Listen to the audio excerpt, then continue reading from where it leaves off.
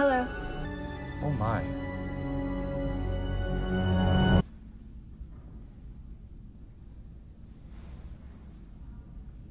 This is not what we talked about, Rodney.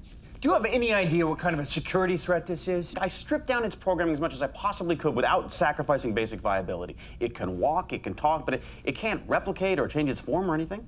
Does she know why she was created? Of course. Well, then she has a certain amount of self awareness. Yeah, so? Honestly, I'm not sure how comfortable I am sending her to her death. You can call it she all you want, but it's still just a thing. It's a, it's a prop. It's a, it's a really advanced radio controlled weapon. I mean, you don't feel sorry for your bullets, do you? Your bombs? It's weird.